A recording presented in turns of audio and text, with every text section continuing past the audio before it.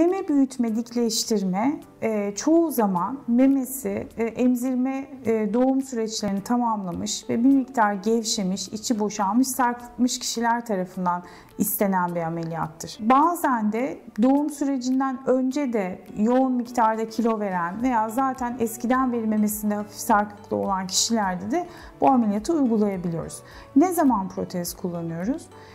Memeye yani göğüs ön duvarına hastanın yandan baktığımız zaman eğer e, üst pol dediğimiz meme başı ve areolun üstünde kalan kısım dümdüz ise yani doğal bir eğimi yoksa memenin o zaman yeterli meme dokusu da yoksa yani memeyi elimize alıp sıktığımız zaman muayene ederken yeterli volüm veremeyeceksek eğer o zaman protezi ile beraber dikleştirme ameliyatını uygulayabiliyoruz.